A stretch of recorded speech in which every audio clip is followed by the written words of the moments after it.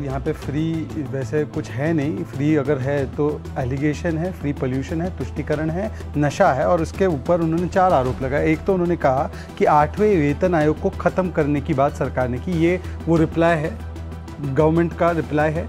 उसमें सवाल पूछा गया कि क्या ऐसी सोच है कि आठवीं वेतन आयोग को ख़त्म किया जाएगा? आंसर है जी नहीं। मतलब कि नहीं किया जाएगा, उसको उन्होंने झूठ प्रस्तुत किया। दूसरा उन्होंने कहा, दस लाख करोड़ के लोन वेव ऑफ़ कर दिए गए।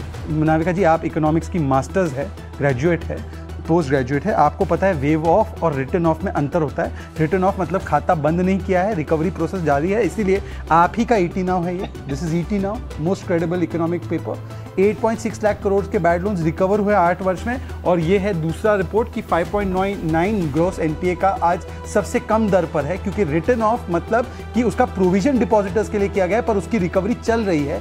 ये रिटर्न ऑफ़ और वेव ऑफ़ में फ़र्क नहीं जानते। तीसरा उन्होंने कहा कि मनरेगा का खर्च कम किया है। मनरेगा का 65,000 करोड़ होता था प्री पैंडेमिक में।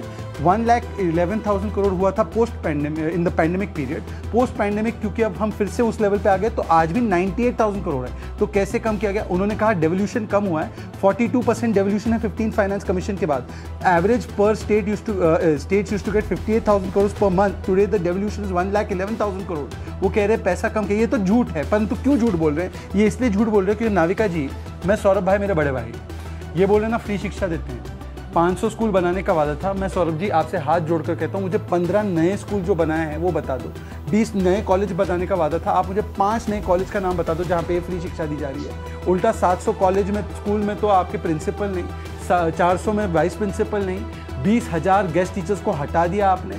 चालीस हज़ार टीचर्स के पद आज भी खाली हैं और जो स्कूल का क्लासरूम का कंस्ट्रक्शन है, उसमें भी पाँच लाख के कमरे का अट्ठाईस लाख ले लिया। इसलिए लोकायुक्त ने आपको इस भ्रष्टाचार के रिपोर्ट जो है रिपोर्ट मांगी है। और आखिरी में फ्री हेल्थ की बात करते हैं, सात हॉस्पिटल छः महीने में खोलने वाले थे। एक नया हॉस्पिटल नहीं खोला, ये आर आई है। दस लाख नौकरी देने वाले थे three two four six jobs दिए हैं सात वर्ष।